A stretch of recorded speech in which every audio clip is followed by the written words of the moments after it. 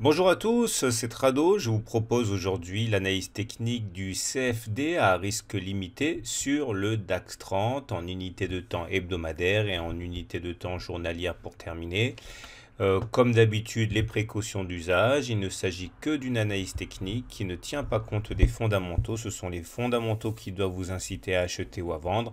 L'analyse technique n'est là que pour vous donner des indications complémentaires. Donc on commence avec cette analyse du DAX 30 en données de moyen terme. Alors, si vous découvrez l'analyse technique, chacun des bâtons que vous voyez ici correspond à une semaine de cotation. On est donc ici il est très important de réaliser que sur cette analyse de moyen terme, la tendance demeure quand même globalement euh, haussière. Vous le voyez au premier critère, celui des pics et des creux. Vous voyez les pics, ils montent et les creux montent également.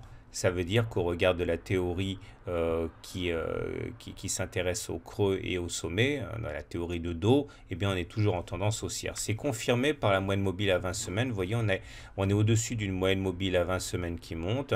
Et au regard de ce critère assez simple, tant qu'on est au-dessus d'une moyenne mobile à 20 semaines qui monte, on est en tendance haussière. Vous voyez d'ailleurs, on a commencé à rebondir après cette attaque euh, à laquelle on a assisté jeudi. On a rebondi sur la moyenne mobile à 20 semaines qui est actuellement à 12 368. Donc là aussi, et tant qu'on reste au-dessus de cette moyenne mobile à 20 semaines qui monte, on ne peut que constater la tendance haussière de moyen terme qui n'est nullement affectée par euh, l'attaque de, euh, de jeudi. Euh, je vous propose maintenant une analyse de type Ishimoku, toujours en unité de temps hebdomadaire, et qui confirme hein, la tendance haussière. Vous voyez, on est toujours situé clairement au-dessus du nuage, et ce nuage monte.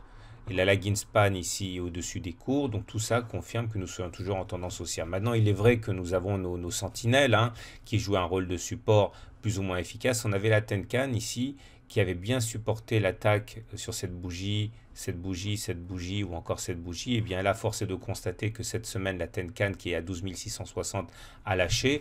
C'est quand même un, événement en soi. Mais en deuxième rideau, on a toujours ici à moyen terme la Kijun vers 12 200 qui, elle aussi, joue un rôle important. Regardez comme on a rebondi lors de cette profonde attaque baissière. C'était en novembre. Mais le plus important, c'est que euh, voilà, la tendance demeure haussière à moyen terme.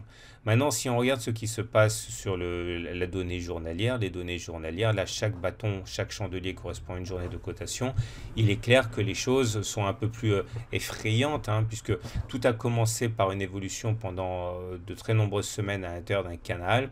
Une fois qu'il a eu été cassé, eh bien, ça a entraîné justement euh, une accélération jusqu'au prochain support. Et le prochain support, c'est celui sur lequel on est en train de rebondir euh, aujourd'hui, vendredi. Vous voyez, c'est le, support ascendant qui relie les précédents creux ici et qui fait du bon travail en matière de, de, de, bouée de sécurité pour l'instant. Il faut savoir que si on devait casser les 12 400, dans ce cas, on n'aurait plus grand-chose avant les 12 200 qui correspondent en fait à ce qu'on a communément l'habitude d'appeler le gap Macron, hein, celui qui est né suite au premier tour de l'élection présidentielle, à vers donc 12 200.